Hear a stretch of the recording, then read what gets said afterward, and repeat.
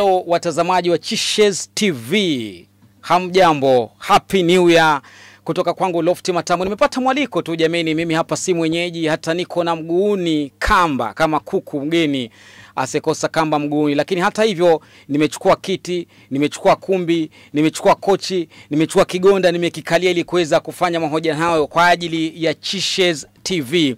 Na iwapo umesikia nyimbo za maana zinazotisha katika eneo zima la Chonyi na Kilifi kama vile majani ya vijana wadogo sana Yami Gang, basi kuna mkono wa dhahabu, kuna akili ya almasi, kuna mwandiko na utunzi wa fedha. Niko naye produsa mwenyewe mkubwa kabisa, mi nitakuwa na mhoji kujua mawili matatu, chimbuko na chemichemi ya Yami Gang inatoka wapi. Hujambo kaka, tuambie majina yako. Uh, niite producer Narex ama producer Malengo ni ndo ya Home Records na Yami Gang kuwatambua kwa wako na vipaji ilikuwa ni 2018. Uh, mimi nilikuwa na katabia fulani kakuwa kila Krismasi nikija kusherekea Krismasi na home na beba mashine zangu za studio. Hiyo time ilikuwa ziko vipingo na janazo home hapa. So nikifika hapa nile tu ku associate na watu sana sana vijana. So hapo ndo nikaona watoto walikuwa wako na interest na mziki na wanapenda studio. Most of the time wanapatikana kwa studio. So first kujua vipaji niligundua cha handboy mwenye yeye alikuwa anapatikana sana studio kuna dei fulani kuna jamaa tu anarekodi hapa kwangu alikuwa akitaka intro amefanya kila kitu verses chorus nini but anahitaji tu intro. Mm -hmm.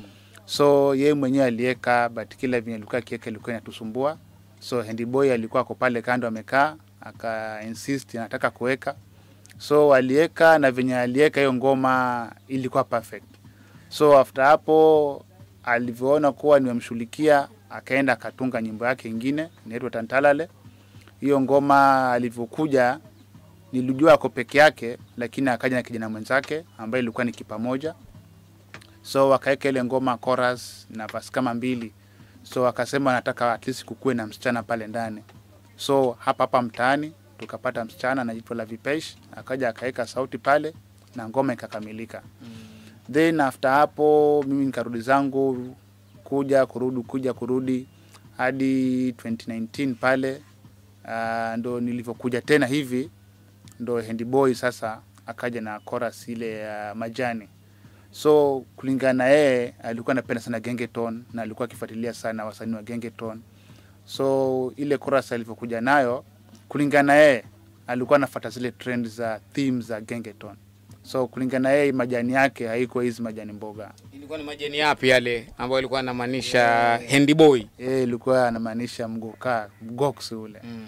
so majani yake Ilikuwa inakwendaje korasi yake kabla tuikarabati sasa tupate majani ya mpea na tembe tembe? korasi yake ilikuwa ni ile ile hapo mwanzo ni hapo hapo majani kula jani ukiringa za majani ndo zetu Mm. Si majani tunakula, daily majani ndomboka. Sisi majani tunakula, daily majani ndomboka. so but verse zake sasa ndio ilikuwa zikitaja mashada hapo ndani zikitaja migokaa hapo ndani Bangi. yeah. so mimi nikamwambia sasa dogo sikiza we ni mtoto kurekodi mimi sikataanza kurekodi lakini ngoma ikitoka jiulize watu watakuchukulia vipi we kama mtoto hata ujui shada inavutwa vipi ujui mgokaa unapatikana wapi so akamwambia sikiza chorus iko sawa lakini wacha nikurekebisha hizi mavasi at least ziendane na wewe mwenyewe. Ndio nikamchorea ile mistari ya majani ya mboga sasa. Ndio at least ile theme ya nyimbo ibadilike. So hiyo tema kuna kipa moja kachorea kila mtu pati yake. Then ile hiyo time pia watoto, wengine bado wasili walikuwa wanakuja studio. So nili tulirekod verse moja siku moja then sasa ulikuwa akija akifanya zoezi akija akifanya zoezi. So hiyo time ulikuwa hawaji peke yao wanakuja na wenzao. So katika ile harakati nikaona watoto wengine pia wanaweza imba zile vazi zenye zimewekwa tayari na wenzao na wanazipiga vizuri tu. Ndo nikaona hawa watoto wengine pia nao naona wako na kipaji. So nikampata hapo jibaba nikampata na Jamijis ndo tukakamilisha ile nyimbo ndo ikawa complete na tukaitoa sasa yeah. Na, na wewe mwenyewe labda shughuli zako ni zipi? Una, una ulizaliwa huku Uchonyi ukaanza mziki, ulisomea wapi mwanzo production, ama kipaji chako taaluma yako ni ipi?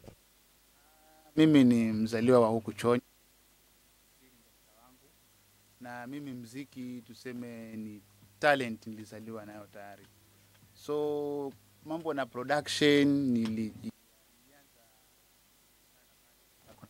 yake pia naye, so nikapata zile software.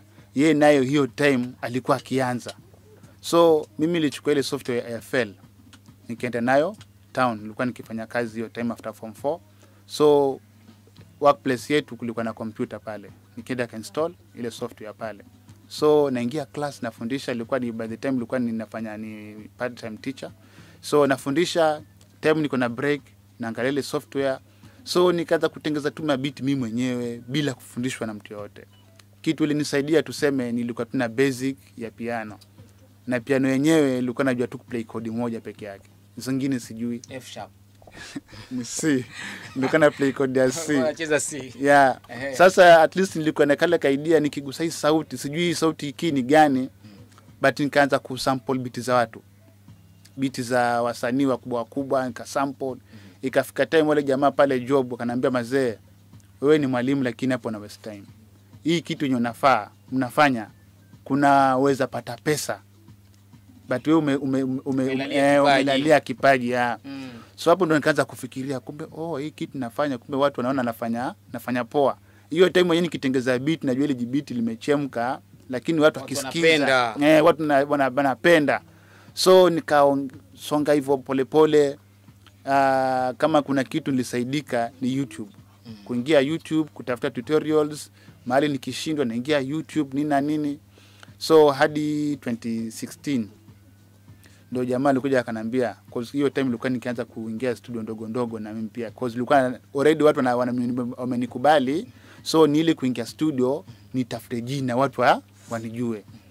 Mimi mazee nakumbuka naweza ingia studio nikarekodi ngoma msanii alipe mwenye studio pesa mm. na mwenye studio naambia hajalipwa Aha. but mi ilikuwa na umekwenda kusaidia katika ile production. Yeah, yeah, yeah. Mm -hmm. So hilo jambo lilinikera kimpango, lakini kasema cause natafuta jina kwanza nitambulike, wacha nitumike for the time being, alafu tena kuna siku nami pia nitakuwa na nitakuwa na kwangu. Kama wanavyosema lazima ukubali mwanzo mdogo alafu Yeah. uinuke. Naam. Yeah. Baada ya hapo ulikwenda kusomea ama ulikwenda kufanya kozi nyingine chuoni? Ilikuwa namna gani? Uh, after after hiyo time mimi nilinunua hizi machine in two years time, ile ndani ya miaka miwili cause jamaa aliniambia mazee, usingoje eti uje ukuwe na pesa ya pamoja ununue hizi machine anza kusave kidogo kidogo. Ukipata pesa ya mic, nenda ukanunue mic. Ukipata pesa ya kompyuta, kanunue kompyuta. Hizi mashine ziona hapa, hakuna kitu yenye nilinunua mpya, Mm. ni vitu tu kwa watu. Kwa hii speaker nilinunua kwa watu wa wale wa rehani second hand. Mm. Mic pia nilipata kwa jamaa pia hivyo hivyo. So 2018 January nilikuwa nimekamilisha kununua hizi vitu, so nikaamua sasa, nimeandikwa kazi kwa ofisi ya mtu, nikaamua niachie ile kazi ya kuandikwa nifungue studio yangu mm. but unfortunately mazee mentality ya huku kwetu watu wapende mziki so family members wakaanza kuingilia kati utachaje kazi yenye inakupatia mshahara kila mwisho wa mwezi then uanze kufungua studio yenye hata wasanii wenyewe ujui kama watakuja au la. yeah, yeah. Mm. then wanasema in case hii ukija ukizeeka utakuwa uta, uta vipi watakaoja anza kutegemea watu nini so akaniambia mazee wewe tafuta kitu yenye unaweza fanya kueleweka. Ukatafuta kitu gani wewe? so mimi nika decide ku apply clinical medicine. Mpaka sasa unafanya clinical medicine? Yeah, ama ushamaliza kusoma? Ya ma third year. Sasa inafaa kwenda anza third year clinical medicine. Unaipenda ile ama ni msukumo wa familia na wazazi? Ah, hiyo time nilisema sitaki nikosa na family. Wacha niwaka- nikawasomee hao waridhike mi nimefanya ile kozi wanataka but the end mi kitu nataka na mziki but nilivyofika kule hiyo first year yenyewe nilisoma ile tu ile kujisukuma mi mwenyewe sina nguvu ya kufanya ile course, lakini with the time nika catch up na nikaona pia ile kozi iko poa so tunasukuma mziki huku shule pia unachapa. Ah, Kwa hivyo wewe ni daktari mtarajiwa kabisa na huku wewe ni mwanamziki ama mpikaji wa mziki. sasa huku ndo kitu yenye inaweza kama kuna kitu inaweza fanya best ni music Kwa muziki ndo unapenda zaidi. kabisa Aha. Yeah. Naam, ah, kwa hivyo huyu ndio mke wa kwanza, yeah. yule mwingine ni mpango wa kando. Yule mwingine mpango wa kando. Clinical medicine mpango wa kando. kabisa Naam, um, kwa hivyo so kufikia sasa labda tutarajie nini kutoka kwako? Uh, kwenye labda miaka mitano ijayo, wewe na Yami Gang tunatarajia nini kwenye miaka mitano ijayo? Uh, kulingana na pale mahali tumefikia naona ni progress because hawa watoto since nianze na wao at least pia jina langu pia limeanza kutambulika na na uhakika tukienda na hii face, hii pace nayo then hizo miaka tano utapata maybe studio tutakuwa tumebadilisha vyombo tutakuwa tume upgrade na kazi tutakuwa tunafanya kazi za watu wasanii wakubwa kubwa za nje na ndani Naam. yeah. Nikiangalia studio yako haina kikubwa sana, naweza sema labda cha kutamanika na kushtua watu, maanake ni chini ya udongo, chini ya makuti. Uh, unawaambiaje labda watu wengine ujumbe wako? talent wajua talent use what you have usitamani kitu kikubwa chenye hauna kile kidogo chenye uko nacho anza nacho then with time utafikia pale mali kwenye unataka kufikia yeah. Na msafi kabisa, twashukuru producer Narex. Yeah. Asante kwa muda wako, umetujuza mengi mazuri ambayo tunatamani pia sisi kwamba watu watakubali mwanzo mdogo, watoke kwako kama ulivyoanza wewe hapa na wasonge mbele hata mbele zaidi. Naam, producer Narex anaashiria wazi kabisa na kuubatili msemo kwamba nabii hana heshima kwao. Yeye amehakikisha kwamba ameheshimiwa katika eneo hili la Chonyi kwa kwanza na vijana wadogo Yami Gang, na lengo lake ni kwamba atapata magang mengine kwa maana ya vikundi vingine, ili aweze kulea vipaji na mziki, licha kwamba yeye ni tabibu, mdunga sindano, mpeana vidonge. Katika miaka ijayo, lakini anasema vidonge hivi vya mziki kwake ndo anavipenda hata zaidi. Naam, kama nilivyojuzeni, mimi leo ndo mgeni wenu katika Chishes TV na nimefurahia sana kwamba niko mgeni wa vijana hawa ambao tunawasaidia pia kukuza vipaji katika eneo la pwani, kuhoji wasanii, kuhoji wageni. Hata mimi nimejihoji mwenyewe sasa nikiwa katika kiti hiki. Hadi muda ujao, endelea kutazama Chishes TV ambayo inakujuza kila wakati. Kwaherini.